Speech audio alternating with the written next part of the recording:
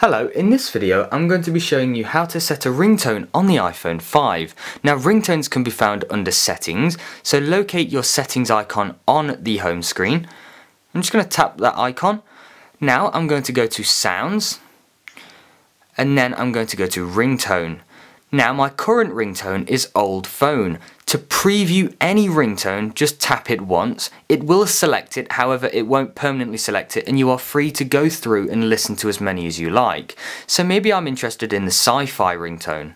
I tap it once. So that plays a sample of the ringtone. I'm not really a fan of that, so I'm going to choose something else. I'm into animals, so I'm going to choose a duck.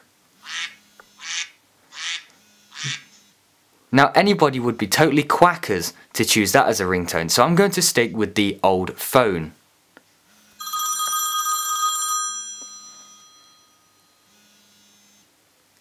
Every time you select a ringtone, it puts a tick next to it.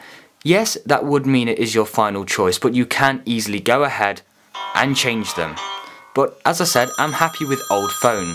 So that's how I'd set a ringtone on the iPhone 5 and to return to the home screen just press the home button once.